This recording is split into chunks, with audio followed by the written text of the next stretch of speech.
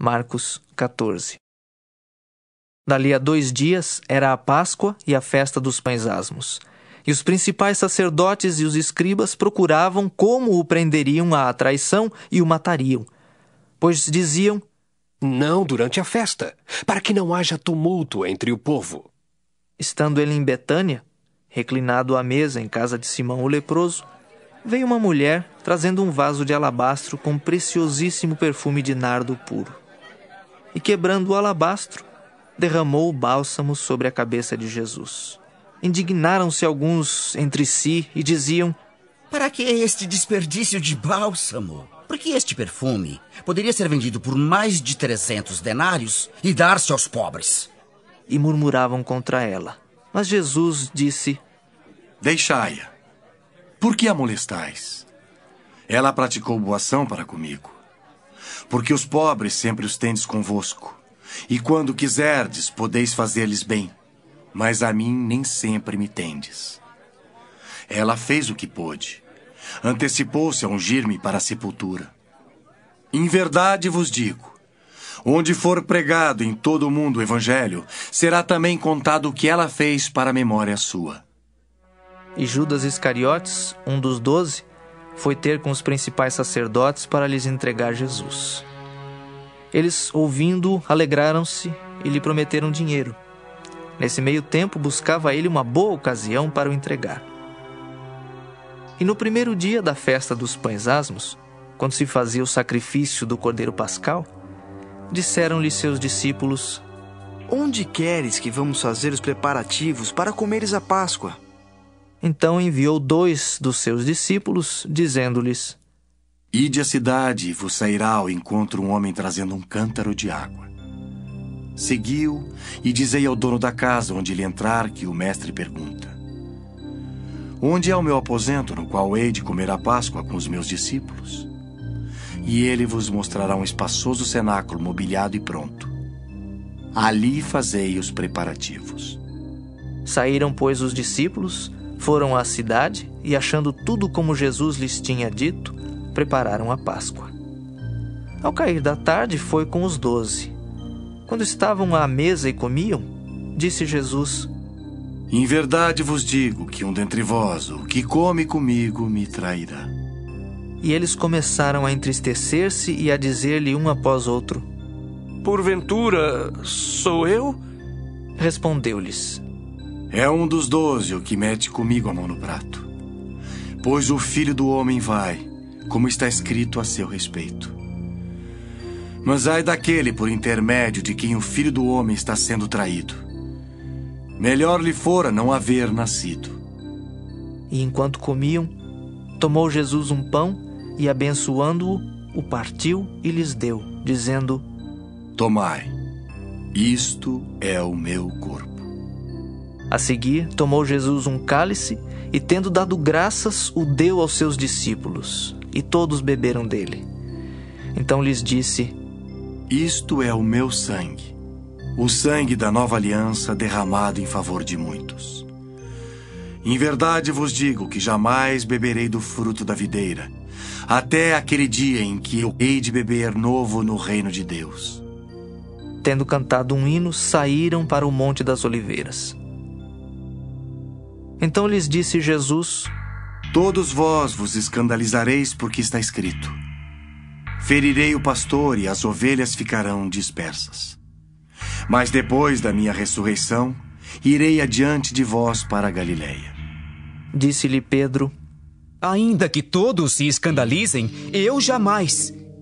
Respondeu-lhe Jesus: Em verdade te digo que hoje, nesta noite, Antes que duas vezes cante o galo, tu me negarás três vezes. Mas ele insistia com mais veemência. Ainda que me seja necessário morrer contigo, de nenhum modo te negarei. Assim disseram todos. Então foram a um lugar chamado Getsemane. Ali chegados, disse Jesus a seus discípulos: Assentai-vos aqui enquanto eu vou orar. E levando consigo a Pedro, Tiago e João, começou a sentir-se tomado de pavor e de angústia. E lhes disse: A minha alma está profundamente triste até a morte. Ficai aqui e vigiai. E adiantando-se um pouco, prostrou-se em terra e orava para que, se possível, lhe fosse poupada aquela hora. E dizia: Aba, Pai, tudo te é possível. Passa de mim este cálice. Contudo, não seja o que eu quero, e sim o que tu queres. Voltando, achou-os dormindo e disse a Pedro: Simão, tu dormes. Não pudeste vigiar nem uma hora? Vigiai e orai para que não entreis em tentação. O espírito, na verdade, está pronto, mas a carne é fraca. Retirando-se de novo, orou, repetindo as mesmas palavras. Voltando, achou-os outra vez dormindo, porque os seus olhos estavam pesados e não sabiam o que lhe responder. E veio pela terceira vez e disse-lhes: Ainda dormis e repousais? Basta. Chegou a hora. O filho do homem está sendo entregue nas mãos dos pecadores. Levantai-vos, vamos. Eis que o traidor se aproxima.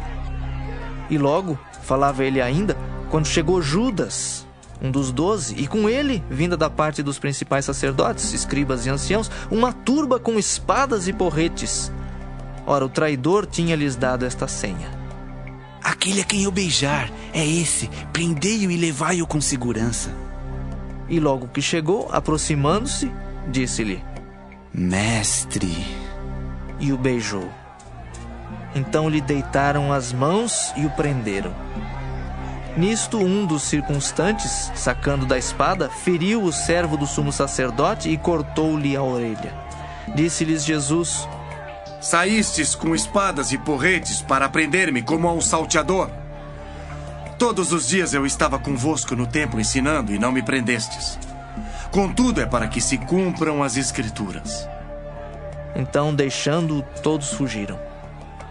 Seguia-o um jovem coberto unicamente com um lençol e lançaram-lhe a mão. Mas ele, largando o lençol, fugiu desnudo. E levaram Jesus ao sumo sacerdote e reuniram-se todos os principais sacerdotes, os anciãos e os escribas. Pedro seguira-o de longe até o interior do pátio do sumo sacerdote e estava sentado entre os serventuários, aquentando-se ao fogo. E os principais sacerdotes e todo o sinédrio procuravam algum testemunho contra Jesus para o condenar à morte e não achavam. Pois muitos testemunhavam falsamente contra Jesus, mas os depoimentos não eram coerentes. E levantando-se alguns, testificavam falsamente, dizendo: Nós ouvimos declarar: Eu destruirei este santuário edificado por mãos humanas, e em três dias construirei outro, não por mãos humanas. Nem assim o testemunho deles era coerente. Levantando-se o sumo sacerdote, no meio, perguntou a Jesus: Nada respondes ao que estes depõem contra ti? Ele, porém, guardou silêncio e nada respondeu. Tornou a interrogá-lo o sumo sacerdote e lhe disse: És tu o Cristo, o Filho do Deus bendito? Jesus respondeu: Eu sou. E vereis o Filho do Homem assentado à direita do Todo-Poderoso e vindo com as nuvens do céu. Então o sumo sacerdote rasgou as suas vestes e disse: Que mais necessidade temos de testemunhas? Ouvistes a blasfêmia? Que vos parece?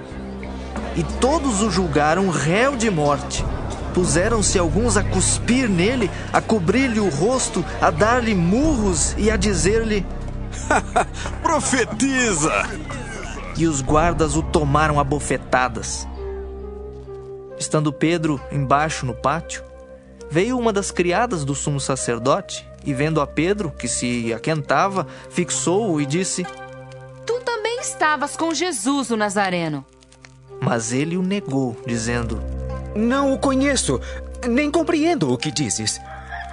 E saiu para o alpendre, e o galo cantou. E a criada, vendo, tornou a dizer aos circunstantes: Este é um deles. Mas ele outra vez o negou. E pouco depois, os que ali estavam disseram a Pedro: Verdadeiramente és um deles, porque também tu és Galileu. Ele, porém, começou a praguejar e a jurar: Não conheço esse homem de quem falais. E logo cantou o galo pela segunda vez. Então Pedro se lembrou da palavra que Jesus lhe dissera: Antes que duas vezes cante o galo, tu me negarás três vezes. E caindo em si, desatou a chorar.